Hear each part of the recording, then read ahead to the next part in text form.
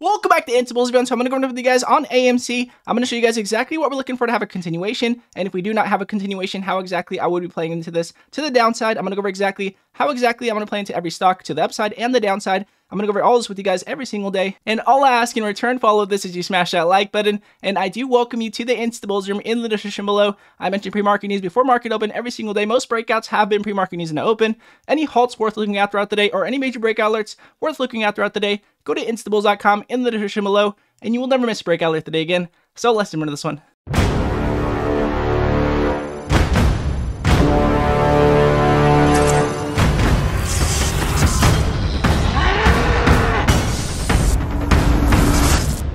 So I'm to go over AMC with you guys here on the daily chart. A lot of people have been asking if we're going to have a major squeeze here, if we're continuing on up in the market, acting against the market, since we did have a spike with AMC and GME, and then the market did continue on down. Does that signal a possible squeeze? A lot of people have been asking these questions. So I'm to go over AMC with you guys, what exactly I would be looking for to have a continuation, and if we did continue on down, how exactly I would be shorting this. Now, before I get started, if you happen to be interested in intraday perspective breakouts, go to instabulls.com in the description below, and you will never miss a breakout alert today again. Now, jumping into the daily chart with you guys here, as you guys can see, we have been continuing on down, but as you guys can see, we do have higher highs and higher lows. So the question is, are we going to continue on with this bounce, or are we going to continue on down like we have been? As you guys can see on the daily chart from our previous major breakout point that we broke all the way up to 7250 from was here at 1450. And I did mention this one as a swing play here at 1450. And we still have been holding over 1450 with our body of the candles here. As you guys can see, we are continuing to bounce, but we are looking to see if we can reclaim the 20 moving average. We do still have our 20 below the 50. We do like how we got back over the 20, but we do need to make sure we do start to curl up here with our 20 and get back over the 50 and consolidate back over the 20 to be a better play here for an intraday perspective breakout. But as far as a swing trade perspective, are we going to continue to bounce here? As you guys can see, we do have our increase in buy pressure. We do have a couple bounces here and we are getting rejected to the upside here. So this is going to be very key level here at about 20, 93, $21. I want to see if we can break over 21 with confirmation. And I'll go over exactly what I mean by confirmation. But as you guys can see, we are jumping back over our 20. We are within this 20 to moving average above it and below our $21 level. So we are looking to see if we can jump back over 21 get this 20 moving average to curl back up and get back over the 50 so we can have that continuation that we're looking for. But if we do not get that 20 moving average to continue on up here, then we will be looking for that possible short here. As you guys can see on the Fibonacci lines, we would be exactly here at our 0.382 level and we would be looking for that short here in my opinion if we did continue on down below $18 to $17.18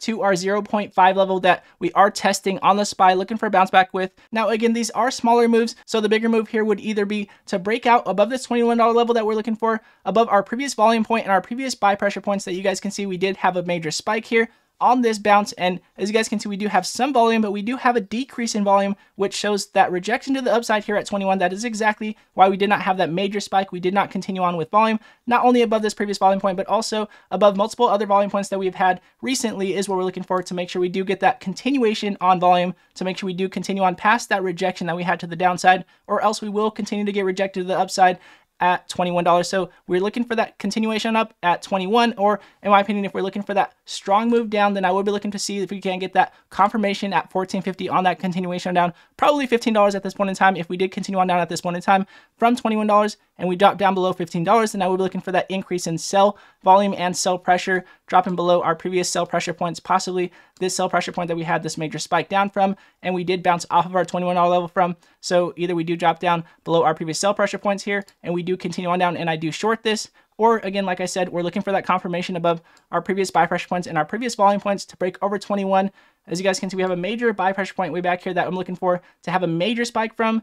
Now we're testing our 20 to $21 range, looking to see if we can bounce back over it. So in my opinion, that would be somewhat of a move from an intraday perspective. But if we're looking for a swing trade perspective, I definitely would be careful here as the market has been very choppy. Making sure we do confirm over specific levels is very key. And especially with this rejection to the downside with multiple bounces, I would want to see if we can reclaim 21 before I did play any swings into AMC, making sure we do get at least some consolidation here from this continuation sell-off that we have been been having. So that is what I would be looking for here again, looking for that short either below $15 for that increase in buy pressure, or we do get back over $21 and we do continue on up for a possible smaller intraday gap up, or again, that major breakout level that we're looking for above our consolidation that we had and multiple bounces that we also had here um, at about $30. So that is what I'll be looking for. That 30 level is going to be that major breakout point in my opinion to get that larger gap up that we're looking for over 30. But the smaller move would be to break over $21 with increases in volume to have this continuation on this bounce. Now, again, I do like AMC and how we are respecting these previous levels and we are respecting the chart overall. We have been, again, we mentioned a descending wedge here that we had.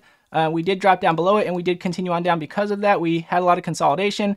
Uh, as you guys can see, we had decreases in sell pressure showing us that we are going to continue on down. And sure enough, we have been. But again, we do have our bounce here at 1450 to see if we can get back over 21 and to see if we can get that major breakout at 30 is again that would be my play to break over 30 rather than 21 to have that major breakout but i will be intraday playing 21 for a quick play if it does jump over 21 with more confirmation on the one minute and the five minute. Now again with that said if you happen to be interested in intraday perspective breakouts most breakouts have been pre-market news and open. We mentioned pre-market news before market open every single day. Go to instabulls.com in the description below and you will never miss a breakout alert that again all of you InstaBulls that have been coming over and supporting the channel all of you InstaBulls that have been coming over from the room and supporting the channel. I appreciate every one of you guys. Much love to every one of you guys. And again, if you guys do like this video, it does help if you find it and it does help the channel grow. And I do appreciate it very much. And again, God bless you all. And I'll see you guys in the next video.